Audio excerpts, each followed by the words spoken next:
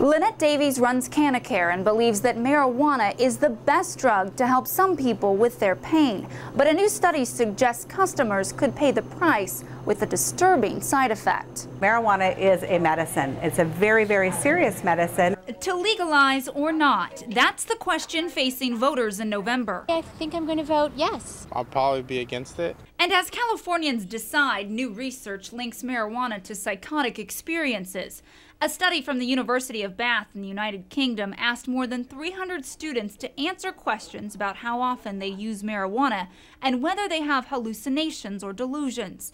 Researchers found that people who use cannabis on a frequent basis increase their likelihood of hallucinating, and in the long run, they say it could increase the risk of developing a serious mental illness. We see a large patient base, and we're not seeing that in our patient base. Lynette Davies, who heads up a medical marijuana dispensary in Sacramento, says she's not saying the findings are untrue, but she believes researchers still have more work to do.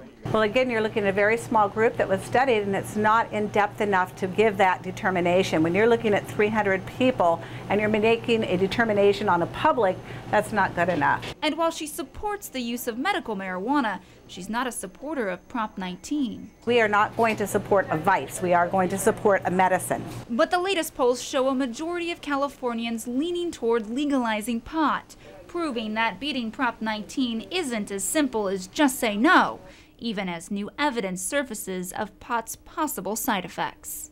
Even though this study claims potential problems, Davies showed us another study which suggests pot helps patients with mental illnesses. Just another example that the research on medical marijuana still gets mixed reviews.